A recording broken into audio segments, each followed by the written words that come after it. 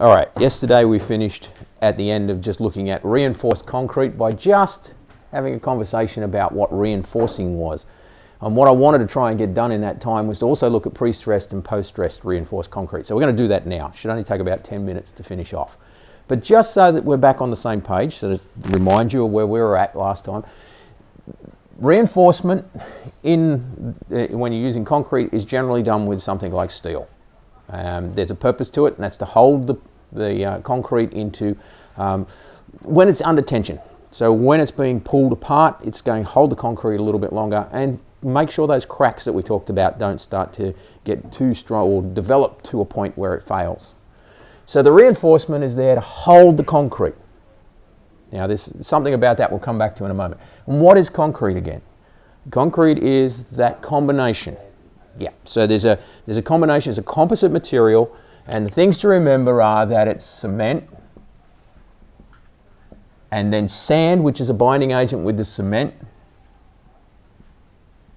Then you've got aggregate, which is generally just any rock or material to bulk it out, to give it some, some strength as well in the way in which that goes together.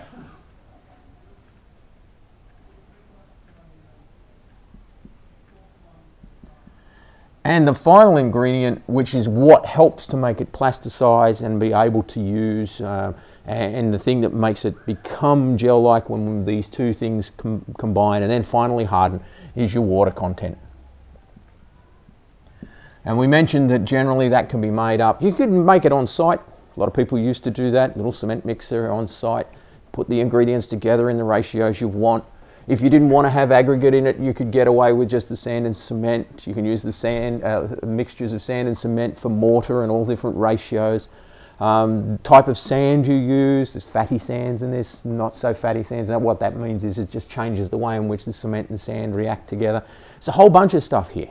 Um, fortunately, you guys don't have to know all of that. If you go into careers as concrete, as you might, um, you know what Italian's in here, is it?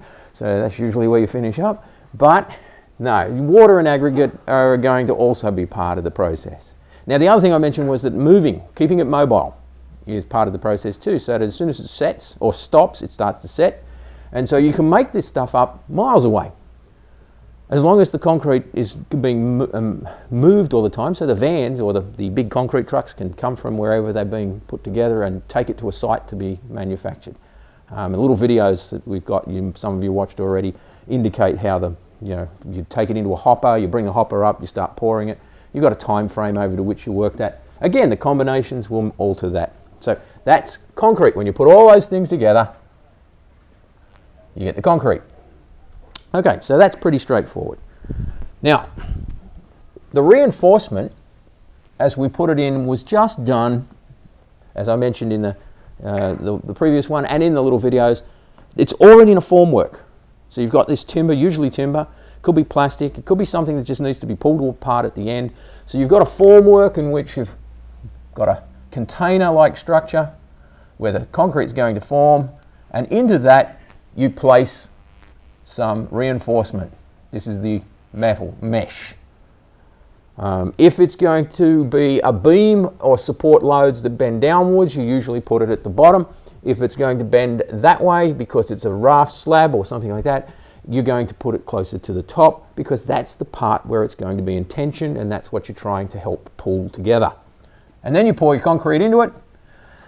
Usually have to give it a bit of an agitation. That agitation helps to get rid of air bubbles because air bubbles become a, a, a, problem and sometimes you can hit the side of the container or even have a pounding device that goes around and bangs it. Another thing that happens when you do that is a lot of the aggregate settles towards the bottom uh, the sand will also go down, and so a smoother sandy mix comes to the top. And that sandy mix can then be what they use those things called a helicopter, which you've seen those big flat blades that run around, smoothing out the top surface. And if you're really, really good at this, you can get it so that you can finish it to a point where people sometimes just polish and lacquer it. Um, there are some a lot of uh, civic structures where they just go leave the concrete as is. We're not going to do anything with it because it looks fine.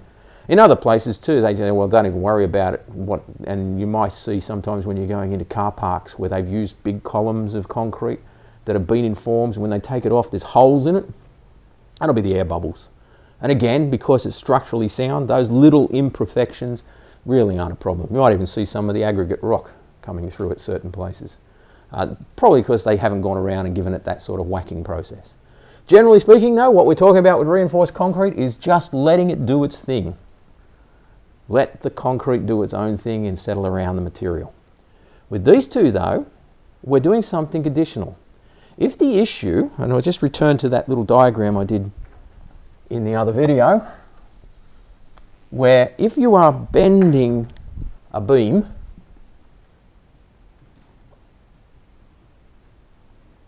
that's being loaded, and of course this, this bending I'm doing here is a massive exaggeration on what's really going on.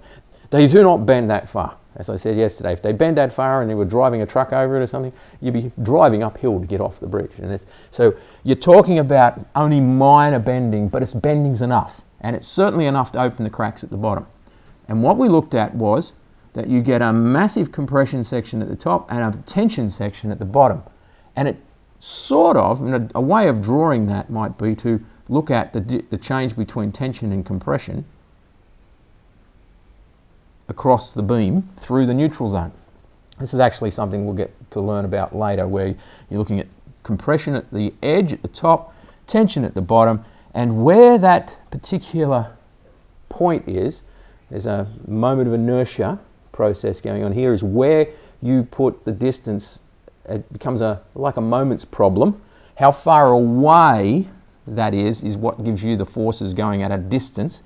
We'll be working with that much later in the course, but for the moment you can see that the further you go away from the neutral zone or from wherever that middle section is, the zero lining, the higher the tension.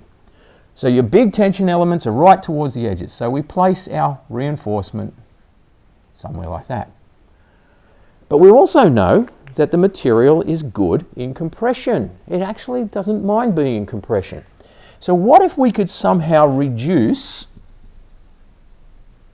the amount of tension down the bottom by increasing the compression in the whole thing. And I'll change the color of the pen just to show you. We don't actually change the loading situation. We add compression to the material to begin with, and that particular set of forces then changes, and the tension now is much less. Now, how do you do that? By increasing the compression. What, what are you saying? We, uh, we're going to put more load on the sides to make it work?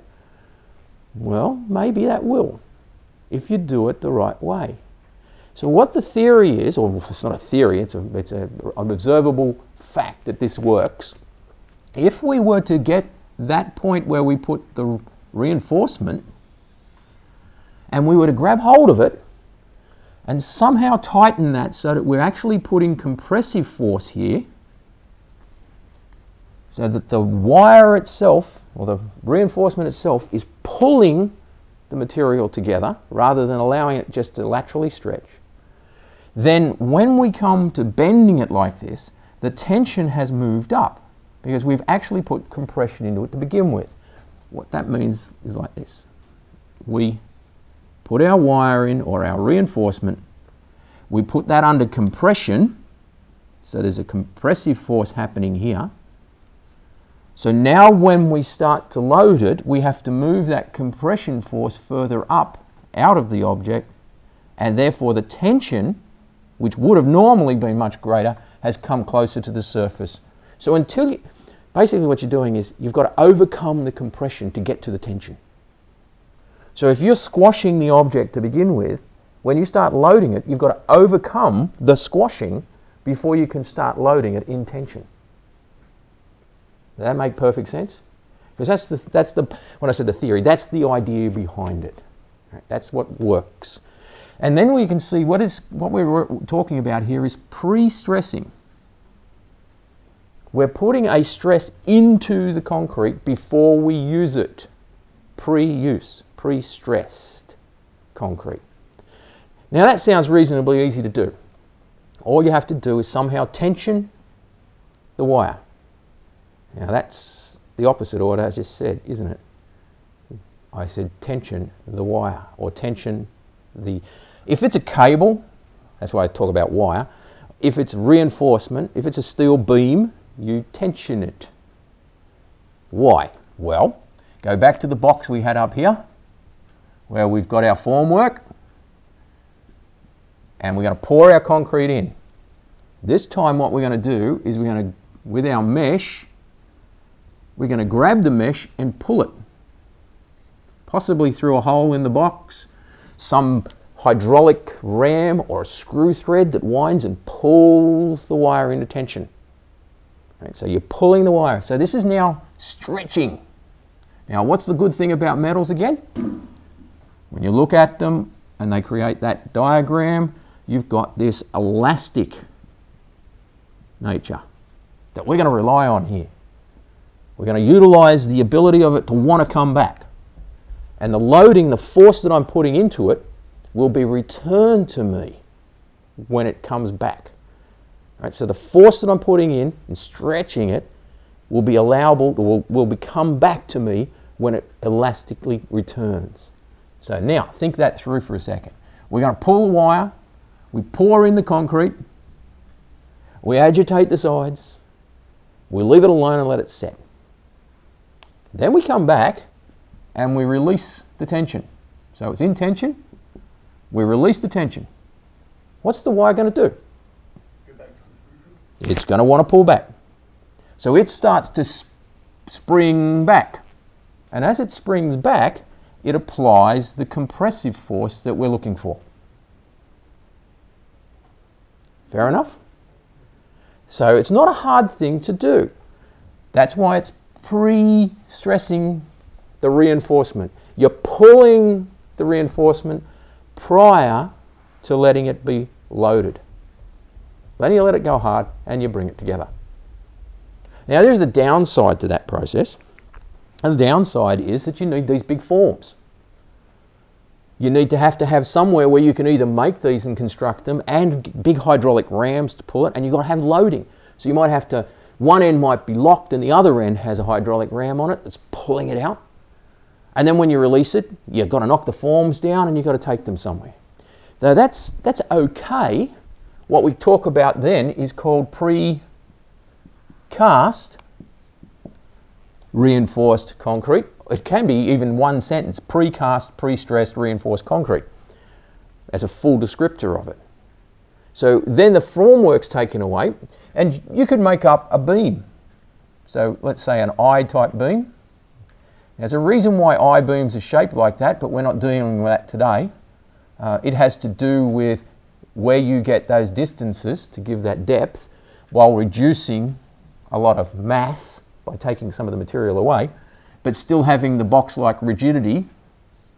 That shape could have your metal mesh running through it that can be pulled and they would probably stick out the ends of it. You're starting to look familiar? Sometimes you might see these things being transported on the backs of trucks to sites. What we tend to do now is that we tend to have places that make these things to set sizes. And so when designers build bridges, they tend to work in set units. Now you can get them made to different lengths to order. It's more expensive to do that. But if you've got a formwork that's already one size and you're just doing this over and over again, you make these standard sizes, then you start to reduce the cost of building.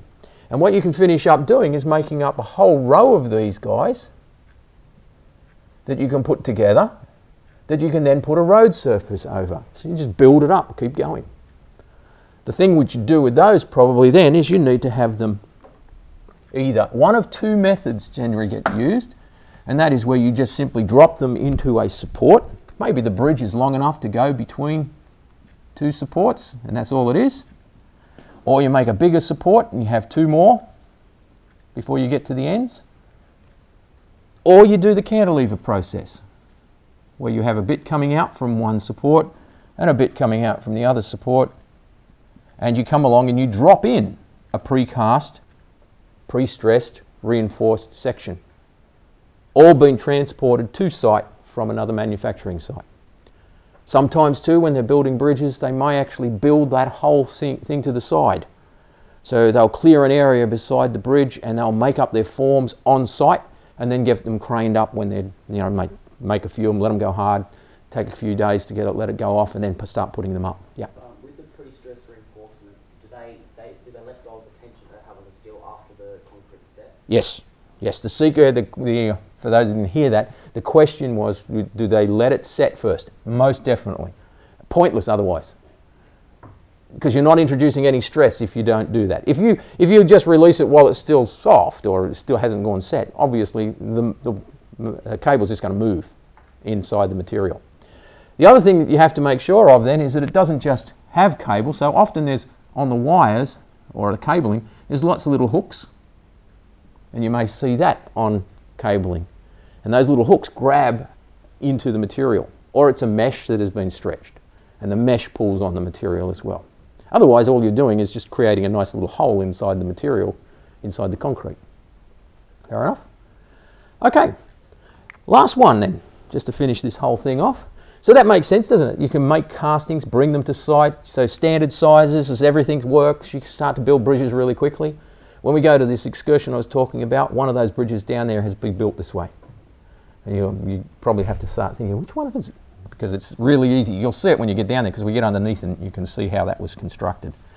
Now, the other type is one of the ones that we did as a little exercise here when we did those three structures. You know, the arch, and then we did the truss, and we had one which was just made of blocks. And those blocks had a hole drilled through them, and then we put tension into the blocks we didn't quite manage to get enough tension to make it really strong, but it got the idea across. You can hold them together. That's this guy. Post stressed. After you do everything. This is before it goes hard and before it's put in situ. This one is in situ after it's gone hard. So you do the casting, but this time instead of putting the mesh direct, you might have mesh in it, as part of the reinforcement process, but that's not going to introduce the, the compression that we're looking for. So what you do this time is you leave hollows, tubes running through, cast around those tubes. Then when you get to site, you put maybe two or three blocks together. Now they might not be that long, they might be smaller, um, in fact, the bridge down here was made in sections that are little platform sections that look something like this, and we'll show you some drawings of all these. And in here it's largely hollow. And that's actually used for inspection. So the whole road surface sits on top of this. And they were in large groups like that. And they made several of these. Uh, I'm not sure how many, probably in the order of about 80 I think were made in that bridge. And then through that you run a whole bunch of cables. You don't rely on one here, you put maybe four or five, and they may even be multi-strand cabling. Well, it will be multi-strand cabling, so that you can get that flexibility into it. Then at one end you lock it off, you get your hydraulic ram, sit it on there, and you pull the wire through until it starts to close everything up and you sort of, like we were doing with the wedges with those blocks, you're tightening and tightening and tightening until it jams everything together, locks it all off, introduces the level of compression that you're after because you're actually dialing in the compression. You've got the opportunity to set it to a certain type. So this time, instead of later relying on the elasticity of the material to produce the strength, you can even go further now. Because if you push the wire too far in the pre-stressing type, in this type, you might exceed the elastic limit and start to deform the, the, the wire, in which case you've lost all the advantage. So there's a limit to how much pressure you can apply, how much compressive force you can apply at the end. With this guy, if you apply too much, what are you going to do? You're going to crack the concrete because there's a limit to its compressive ability as well. But what you can do now is induce so much more compression that you even move this even further away. And you can have situations, if you, if you, you won't get there of course because there's, there's always going to be a need for it to, to stretch, but you can get to a place where you can reduce the deformation because it now wants to stay compressed a lot longer. So there's a whole lot of things you can dial in when you do this.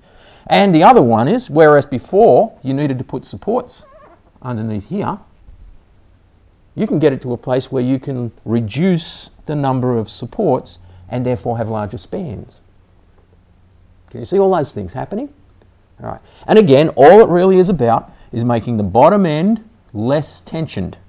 It will be tensioned, it'll have to be, by introducing compressive forces at points at the sides and squishing it. Yep. Is one like stronger than the other, or, and other, is one more expensive than the other? This one is t- it tends to be a little bit more expensive to do, and the reasoning is that this process has to take place on site. You can still bring in precast elements, so you can still make them elsewhere, ship them in, put it together. It tends to be more quicker, so then you reduce some of the speed.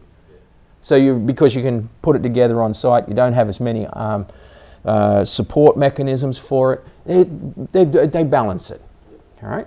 But it's harder to actually do in the first place because you've got to build a big form to put them under. Uh, when we look at the bridge down here, you'll see how they had to have a crane in to bring it all in. Whereas these other pieces before, the pre-stressed ones, can be dropped into site. A little bit simpler. So yeah, which one's more expensive? Which one's better? It's going to depend on what it's using for. The point is, we now have three different ways of dealing with it.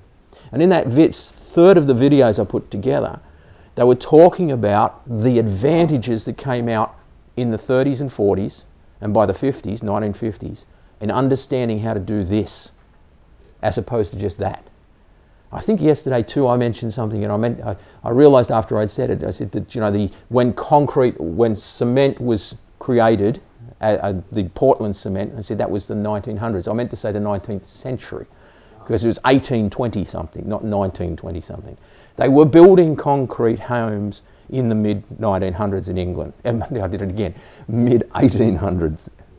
Yeah, 19th century, 1800s. That always gets me. That does. Anyway, so you know what I'm talking about because I think there's a date line somewhere on one of the videos too. Yeah. So get get a, get a feel for when things happen too. That's really good to know.